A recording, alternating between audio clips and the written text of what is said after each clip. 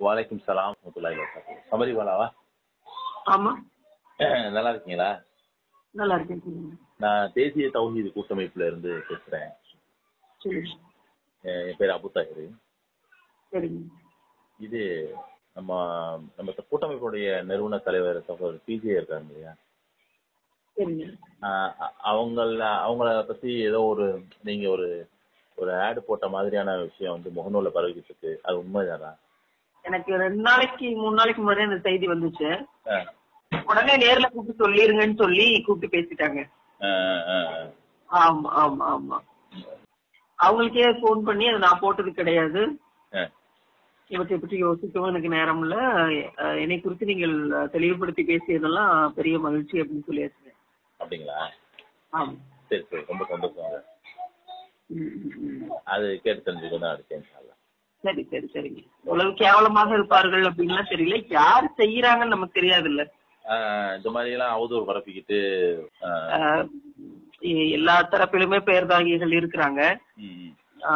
அத இந்த தரத்துக்குள்ள இந்த தரப்புக்குள்ள முதன்முறையா சந்திக்கிறேன் இதை போல. அப்படிங்களா? எல்லா இடத்துலயும் எக்ஸ்ட்ரீம் எண்ட்ல இருக்கத்தான் செய்யறாங்க அப்படின்ட்டு. என்ன செய்யறது எனக்கு பார்த்தோன்னே பதறிடுச்சு. சவுதியில இருந்து அனுப்பிட்டு இருந்தாங்க. சம்பந்தமா இதுதான் இருக்கு போல அப்படின்னு. இது சம்பந்தமா நீங்க முகநூல்ல ஒரு சின்ன பதிவு போட்டவங்க நல்லா இருக்கும். இல்ல இந்த மாதிரி இந்த மாதிரி அவதூறு பரப்பவங்களுக்கு ஒரு சாட்டையடியாவும் இருக்கும். முஸ்லீம். பெயர் தாங்கி மூலியமாக செய்யக்கூடியவங்க மத்தியில. நீங்க ஒரு உடனே நேர்ல கூப்பிட்டு சொல்லிருங்கன்னு சொல்லி கூப்பிட்டு பேசிட்டாங்க. உங்க உங்க அதான் நீங்க ஒரு அஞ்சு நிமிஷம் முகநூல் பதிவா நீங்க போட்டீங்கன்னா கூட இது மக்கள் ஒரு ரீச் ஆகும். ஏன்னா இந்த மாதிரி அவதூறு பரப்புறவங்க வந்து முஸ்லீம்ன்ற பேர்லயே பரப்புறாங்க.